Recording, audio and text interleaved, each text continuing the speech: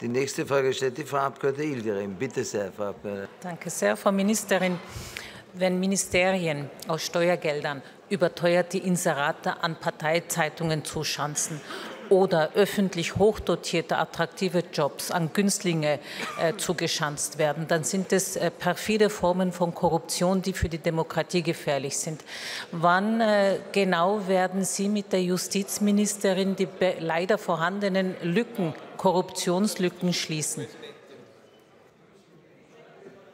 Frau Abgeordnete, Sie sprechen an auf die Verhandlungen zum Korruptionsstrafrechtsänderungsgesetz.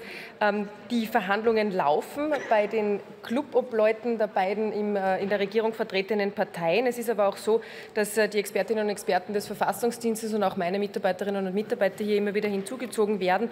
Und äh, ich kann Ihnen nur aus diesen ähm, Sitzungen berichten, von denen mir auch berichtet wird, dass man sehr weit fortgeschritten ist. Es wird was ich äh, heute auch gehört habe, wieder eine Sitzung stattfinden am heutigen Tag, äh, damit hier der Wille des Gesetzgebers auch tatsächlich äh, abgeschlossen werden kann.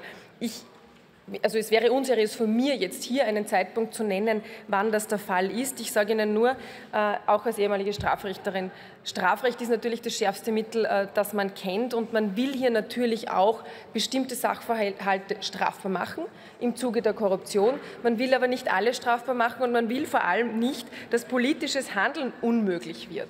Und wir haben da Dinge drinnen, die wirklich international absolutes Neuland bedeuten. Wovon spreche ich? Ich spreche vom Mandatskauf. Das gibt es auf der ganzen Welt nirgends und das bedeutet natürlich eine Vorverlegung der Strafbarkeit in einen sehr frühen Zeitpunkt und da braucht es klare Abgrenzungen, damit dieses Gesetz auch gut anwendbar ist. Da sollte jemand bestraft werden, der sich einkauft, der aus unlauteren Mitteln auf eine Liste kommen will, aber es sollte nicht jemand anderer in ein komisches Licht gerückt werden, weil er vielleicht seit Jahren Mitglied in einer Partei ist und auch Mitgliedsbeiträge Beiträge zahlt. Das klingt jetzt so banal, aber es ist wirklich der Teufel im Detail und die Expertinnen und Experten sind dran, die Verhandlungen sind, was ich höre, ähm, kurz vor Abschluss. Zusatzfrage, Frau Abgeordnete. Ja. Sie sind ja auch äh, EU-Ministerin. Und es sind ja eine Reihe von EU-Richtlinien äh, nicht umgesetzt worden. Kennen Sie die Zahl der äh, Fristen bzw. jener Richtlinien, die noch nicht umgesetzt wurden? Und ganz besonders spreche ich hier die Whistleblower-Richtlinie, ja, wo die Frist ja seit über einem Jahr verstrichen ist. Äh, könnten Sie da dazu eine Stellungnahme abgeben, wie es Ihnen als Europaministerin dabei geht?